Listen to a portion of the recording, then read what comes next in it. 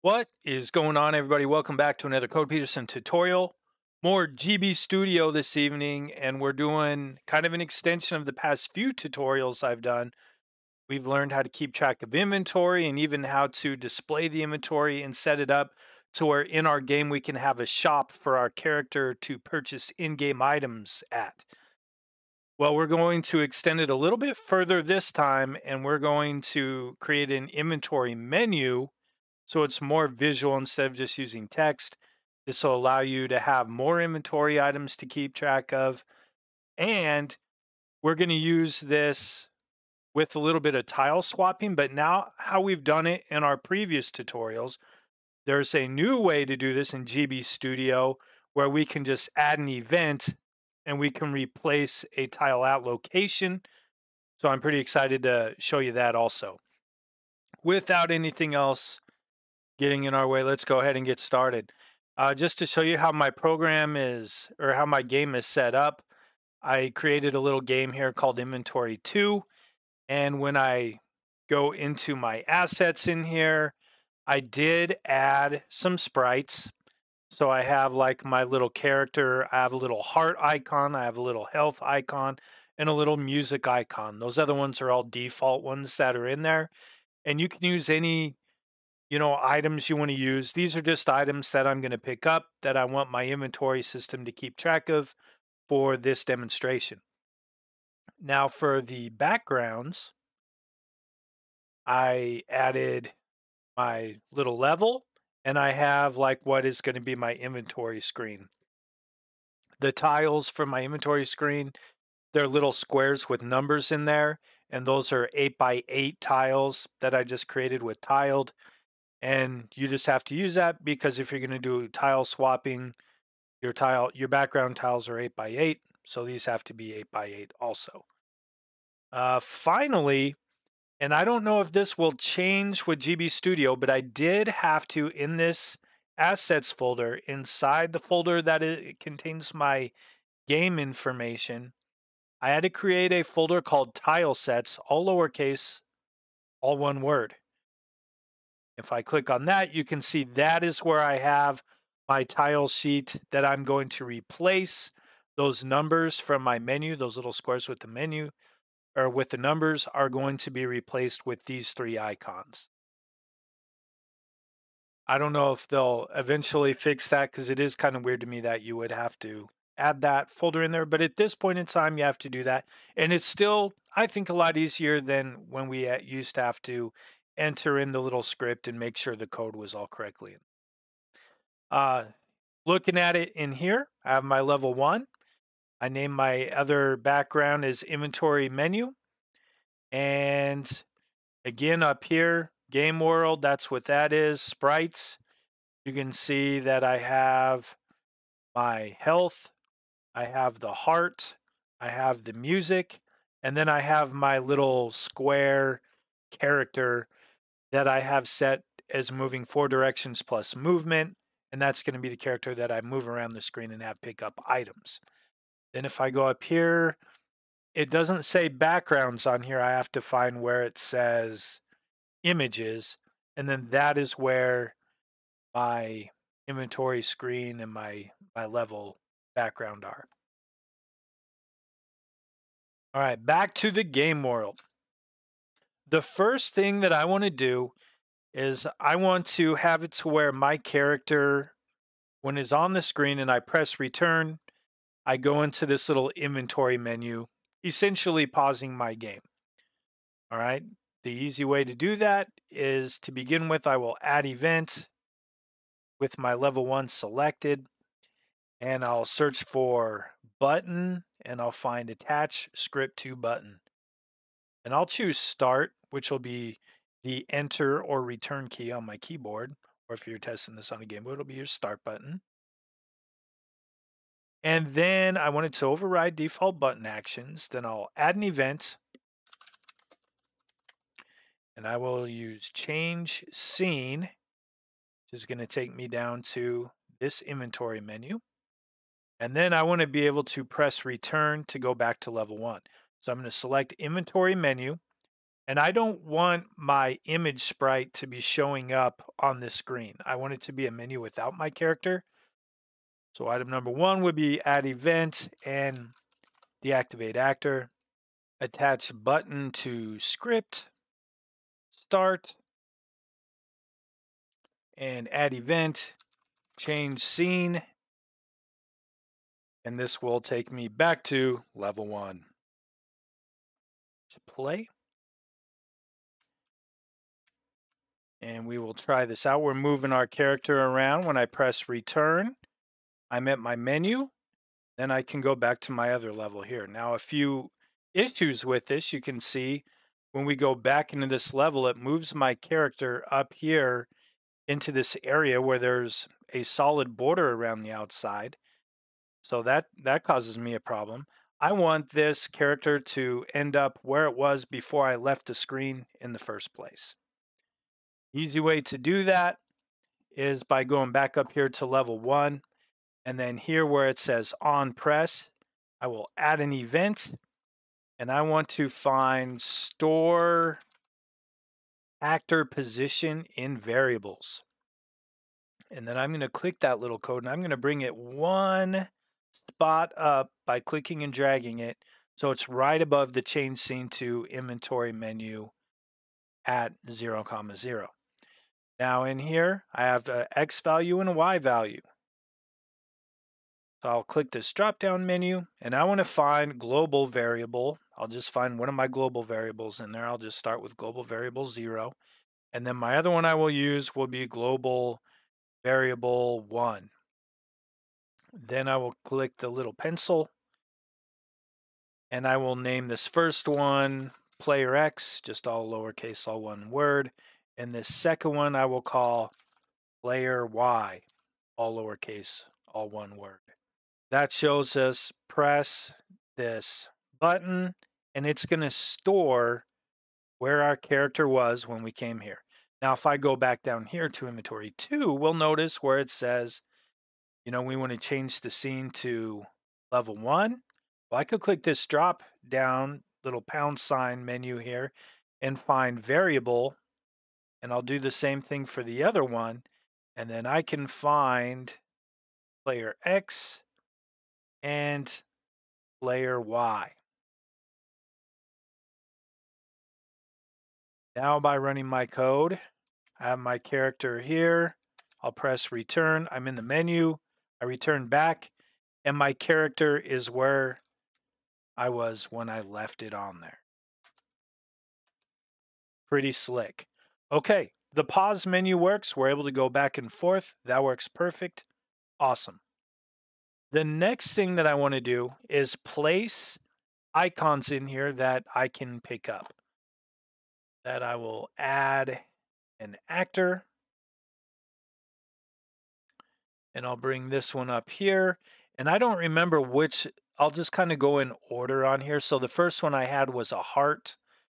So with this up here, I'll click this and then I will find my heart that I had uploaded to my project. And then I'll add another actor over here. And the second one on my tile sheet there was the music notes. And then finally, I will add one more actor. And then this one will of course be the health.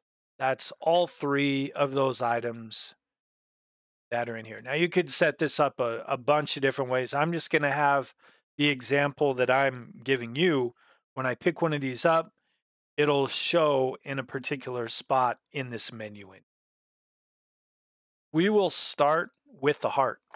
So with the heart selected, I have a collision group and it's a collision group of none. I'm going to switch it to collision group one. If your game you already have a collision group one assigned for like your enemies or something else, you can use any of those other three or any of those three collision groups for whatever works for you. I don't have anything assigned in mine, so I'll just use one because it'll be easy for me to remember. So collision group one, and it gives me this on hit option when on hit with the player. Then I want to search for variable set to true. And it asks me what variable I want. I'll click this drop down menu and I have a variable 2. I will select that and I'll click the little pencil here. And again, this is a global variable because I wanted to keep track of this variable between level 1 and when I go over to inventory. So all the variables I'm using for this demonstration are global variables for this for this demonstration today. Uh, I will name this one as heart var, just short for heart variable. All right, so heart var is set to true. And then I want to add another event. And I want to search for deactivate actor. And I will click save. Now, if I go and select my level one on here, then I want to go on init and I want to search add event. And I will say if variable is true, and I'll click the drop down menu and I will find my health var. Then I am going to deactivate actor and I'm going to deactivate that part. That way, once I pick it up, if I go to my menu and I go back, the heart doesn't respawn. Now, you may not want that to happen in your game. You know, that's that's fine. Let's check and make sure that that point works right now. Pick up the heart, press return. I'm pausing. I go back and the heart is still gone. Okay, so far, so good. Now, the next part of this is I want this heart to be represented in this little square. Now, this is pretty cool. Uh, I will go to my inventory menu. I'm going to add event. And I'm going to search for variable true again. So if variable is true, then I will add an event. And this is pretty cool. This is the, a new feature for GB Studio 4 I'm pretty excited about. Uh, we can go in here and replace tile at position.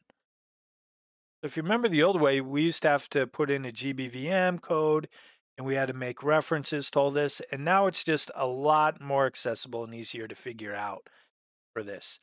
So to begin with, it asks me what tile I want to replace. I want to replace this one here. So if I push over one and then I push up one to move over here. That's my 1, 1 position. And it highlights it on there so I even know which one it's talking about. That's awesome. And then for the tile set, I can click down on this. And this is why we have to have that folder in there called tile sets. Because if it's not there, then it's not going to show up in this option. If you are making your game and you're like, oh man, I just now added that folder and it doesn't show up, and you didn't make the proper folder like I showed you earlier, uh, then you might just have to save your progress, close out, and then go back in, and then it'll show up. That's what happened to me when I did this. Uh, so my little tile sheet is called collections. And then it asks me what tile number I want to choose for this. So if you scroll on this, and this is what I like, it'll show you which of those tiles that it's going to replace it with. One last thing I need to do is click on this and I need to make sure that I have my heart var is the item that is set to true. Now we'll save it. We'll run this. Press return. All right, we go over and we pick up our heart. Press return and we can see that we've replaced that one section of tile with the heart. And it's as easy as that. So now doing the rest of this is just rinse and repeat. We'll go up here to the music note and we'll give it a collision group of one on collision with player. And then we will deactivate the actor, deactivate self, and we will set variable, here it is, variable set to true. And then we will select one of our global variables for this. and then I will rename that variable and I will call this one music var. All right, then we'll go back here to level one. We'll scroll down here and we will add and if variable is true, and we'll click the little drop down menu and we will select music var. Then we will go to deactivate actor and deactivate the actor 2 in this case, which is my music icon. And then we go down here to the inventory menu and then I will add another event. If variable is true, click the drop down menu and find music variable and then add event, replace tile at position. And then this time we'll roll over here to where we're above the two and you can set yours up to any tiles and obviously I only have 10 here. You could have as many of those as you want in there. It's just up to you. As long as they're unique, you know, you want them to be unique. And then here I will change this one from 0 to 1. And we'll click save. Let's give it a test again. Pick up the music note and the music note showing up there. We'll go over here and everything is working great. Finally, last but not least, we'll go down here to our health and we'll give it a collision group of one on collision with player. And we will select here set variable to true. And we'll click the drop down and we'll choose another one of these global variables. And I will rename it and I will call this one health var in all reality, health and the heart would be, you know, kind of the same thing. But I, I was just trying to think of something quick that I could put this together for for a demonstration. Uh, we have that on there, and then we will go to deactivate the actor, and we're going to deactivate health. Okay, now go back to level one, scroll down to the very bottom if variable is true, then we will click the drop down and we will find health var and we'll add and we will deactivate the actor and then select that health item in there. Okay, now going down here to inventory menu and we will add an event if variable is true. And we'll click the drop down menu and from local we will select health var and then go to add event. Replace the tile at position and then we will over here do the third one. And I selected the wrong one. Let me fix this real quick. Not heart var, but Health var, there we go. Now let's save it and check and make sure everything's working. Start this up. Okay, we're good there. Pick up the health. It's showing up there, nice. Now we'll go up here to get the heart. The heart is showing up. And our music showing up. And there it is. So another way to do an inventory slot for your game. Pretty slick, and it's using tile swapping, and it's even cooler with this replace tile function in GB Studio 4. Let me know if this helps you out. For those of you who are wondering, how can I have 10 or more uh, inventory items? This is something you could do, you know, and even another way to do it would be possibly having your inventory items coded up here. And then underneath you have a number that goes from zero to one to two to three. And then, you know, you can keep track of your inventory items that way. The possibilities are endless. I appreciate y'all taking the time to watch and hopefully we'll catch you on another video.